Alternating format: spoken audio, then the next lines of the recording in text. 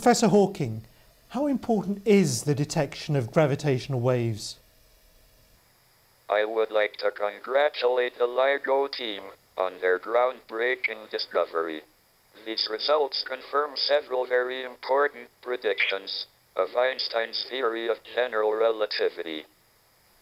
It confirms the existence of gravitational waves directly. Until now, our observations of the universe have exploited light, radio waves, and other electromagnetic radiation. Gravitational waves provide a completely new way of looking at the universe. The ability to detect them has the potential to revolutionize astronomy. This discovery is the first detection of a black hole binary system and the first observation of black holes merging. The observed properties of this system is consistent with predictions about black holes that I made in 1970 here in Cambridge.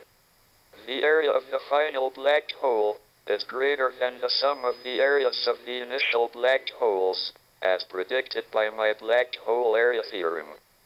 The properties of these black holes are also consistent with the black hole no-hair theorem, which says that they should be uniquely characterized by their mass and spin. Previous tests of general relativity have almost exclusively applied to weak gravitational fields. This discovery lets us test the predictions of general relativity when the gravitational field is strong and highly dynamical during the black hole merger. This discovery also presents a puzzle for astrophysicists.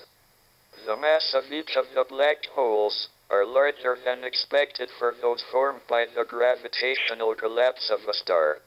So how did both of these black holes become so massive? I am sure the LIGO team are going to keep us busy with many further surprises. You say that it's going to revolutionise astronomy. What kind of things could we discover if we scan the skies for gravitational waves?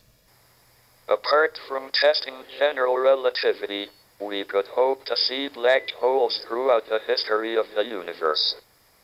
A cosmic distance ladder using these black holes would be extremely accurate and complement existing distance ladders, based for example on supernovas. From neutron star mergers, we will learn about the equation of state of matter at supernuclear densities. We may even see relics of the very early universe during the Big Bang at the most extreme energies possible. Professor Hawking, thank you very much.